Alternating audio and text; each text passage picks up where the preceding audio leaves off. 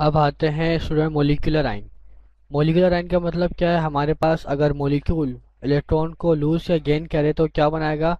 Molecular ion बनाएगा। When a molecule loses और gain electrons the resulting species is called a molecular ion मतलब हमारा कोई भी मोलिक्यूल हो, चाहे वो अगर वो मोलिक्यूल इलेक्ट्रॉन को लूज करता है या गेन करता है तो क्या बनाएगा? मोलिकुलर आइन बनाएगा।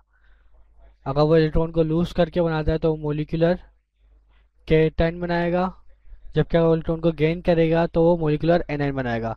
एग्ज़ाम्पल कौन से दिए यहाँ पे? एग्ज़ाम्पल दिए ऑक्सीजन ऑक्सीजन में loses one electron it form oxygen cation plus का मतलब क्या है? Oxygen cation but when it absorbs an electrons it form oxygen anion negative sign का मतलब क्या है? एनाइन सही है? अगर ऑक्सीजन आइटम हमारे पास इलेक्ट्रॉन को लूज करता है तो ऑक्सीजन केटाइन बनाएगा। ठीक इसी तरीके से अगर ऑक्सीजन मोलिक्यूल हमारे पास इलेक्ट्रॉन्स को एब्जॉर्ब करता है मतलब गेन करता है तो क्या बनाएगा? ऑक्सीजन एनाइन लेकिन ये हमारे पास मोलिकुलर आइन कहलाएँगे। क्यों? क्योंकि यहाँ पर हमारे पास एटम एटम इलेक्ट्रॉन को गेन लूज नहीं करता, जबकि मोलिक्यूल मोलिक्यूल यहाँ पर इलेक्ट्रॉन को गेन या लूज करता है। यहाँ पे देखें, ये ऑक्सीजन एटम है। यहाँ पर अगर इलेक्ट्रॉन को काउंट करें one, two, three oxygen molecule है, इसको काउंट करें। One, two, three, four, five, six, seven, eight, nine, ten, eleven, twelve. Twelve electron है। जबकि अगर यहाँ पर हम काउंट करें इलेक्ट्रॉन को, one, two, three, four, five, six, seven, eight, nine, ten, eleven. जबकि यहाँ पे कितने इलेक्ट्रॉन है? इलेवन। यहाँ पर हमारे पास ऑक्सीजन एटम पे टेन इलेक्ट्रॉन है और यहाँ पर इलेवन इलेक्ट्रॉन है। तो इसका मतलब क्या है? इसने इलेक्ट्रॉन को गेन किया। इसने इलेक्ट्रॉन को गेन किया ऑक्सीजन ने, तभी इसके ऊपर क्यों सा चार्ज आ गया? ऑक्सीजन एन मतलब नेगेटिव आइन आ गया। और जब ऑक्सीजन इलेक्ट्रॉन को गेन करता है तो बनाता है सुपर ऑक्साइड एनाइन नेक्स्ट पे आते हैं फ्री रेडिकल फ्री रेडिकल है क्या?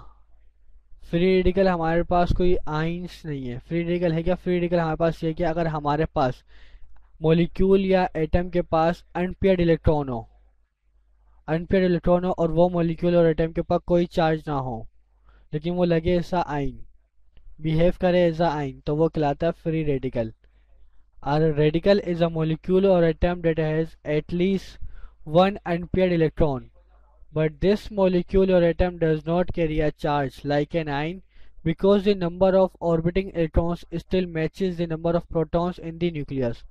यहाँ पर है कि यहाँ पर बात यह कि हमारे पास रेडिकल वो मोलिक्यूल वो एटम है मतलब कोई भी एटम या मोलिक्यूल हो, जिसके ऊपर, जिसके पास अनपेयर्ड इलेक्ट्रॉन हो मतलब इलेक्ट्रॉन पेयर में ना हो अनपेयर्ड हो।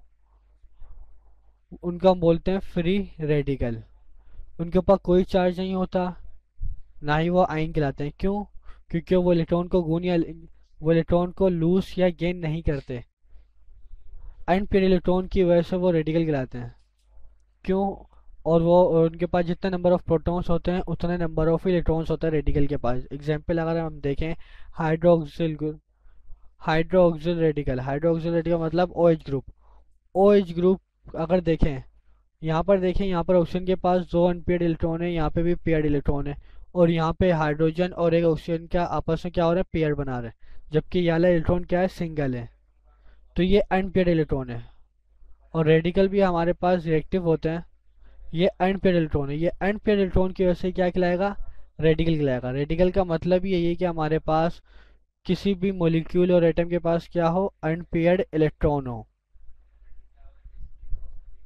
अनपेड इलेक्ट्रॉन हो और वो इलेक्ट्रॉन्स ऑर्बिट के अंदर रिवॉल्व कर रहा हो। वो खिलाते हैं हमारे पास रेडिकल इनके ऊपर कोई चार्ज नहीं होते जैसे आइंस के ऊपर होते हैं। सही है क्यों? क्योंकि इलेक्ट्रॉन को लूज या गेन नहीं करते।